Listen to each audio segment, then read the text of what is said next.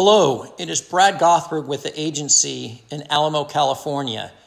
And today's video topic is mainly for buyers. The topic is Should you wait to buy a home in today's real estate market that has changed within the last couple months from last year? Inflation has hit a 40 year high.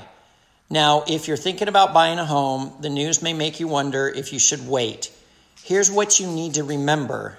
In times like these, you want to be invested in an asset that outperforms inflation. That's where homeownership comes into play.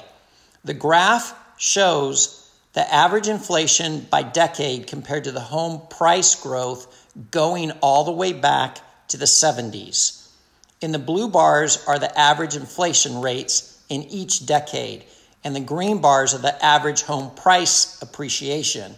What this really tells us is that in most decades, housing has outperformed inflation.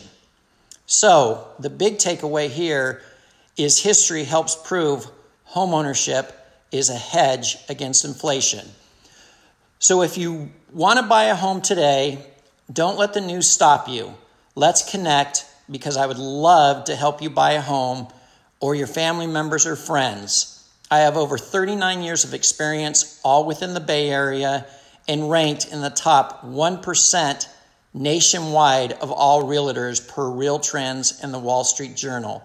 So call me today at 925 998 5151 or DM me direct. Thanks for listening.